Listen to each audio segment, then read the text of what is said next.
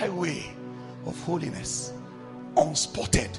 Witches gather, they mention your name, and God judge them immediately. You know why? You have become the apple of his eye. God just loves you. Huh? Fear the man that God loves you. And fear holy men. Fear holy men. The people that the devil can cut off easily. Anybody who has one leg here and one leg there, you you'll be living in that arrangement and be saying, Have mercy upon me, Lord. It's by your grace. You know you'll be enjoying it. The day that thrones will go to war, you can be cut off easily.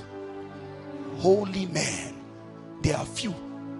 I wait for the revival of deeper life again. I'm not talking about the church.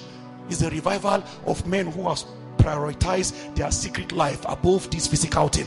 What we have currently is the physical life is more a priority than the spiritual life.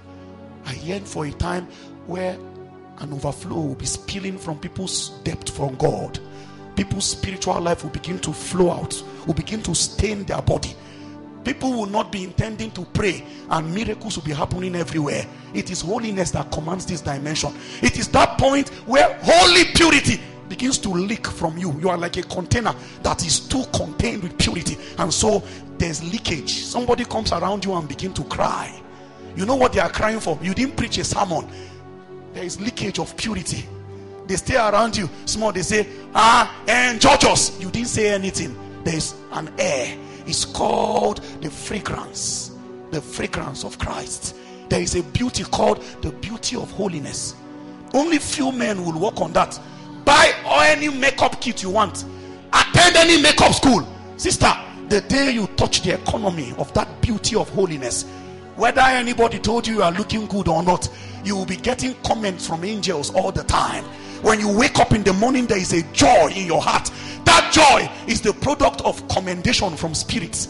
Spirits say you are up again. We celebrate you. Your kinds are rare. How did you keep your garment like this? How did you love God like this? What did we do to you that we didn't do to others? Suddenly you find out that upon your inside there is a yearning. You will sleep without praying and no spirit can touch you. You say it is because I forgot to pray. That is why they pressed they pressed you because you broke the edge. It is only those who broke the edge that the serpent can strike. You say it is because of I did not pray. That is why the devil took that breakthrough away. There are people here with near success syndrome. You will come near the palace, but you will never enter. Pharaoh's servant will tell Pharaoh about you and Pharaoh will still not call you.